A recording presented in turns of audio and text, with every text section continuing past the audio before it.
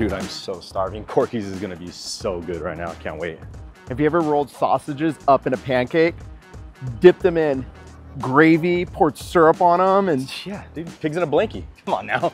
I can't wait for the biscuits and gravy with a side of steak with the fatty sides on it. Just What oh the my heck? God. Oh, what if we got a carbs, dude. Is that waffle Chris and Okay. Nick? and put extra butter on it Oh, with God, bacon? butter. Chris and Nick, what are you What? guys doing? Oh, we're actually we We're were gonna work out. Yeah, yeah, we're coming here.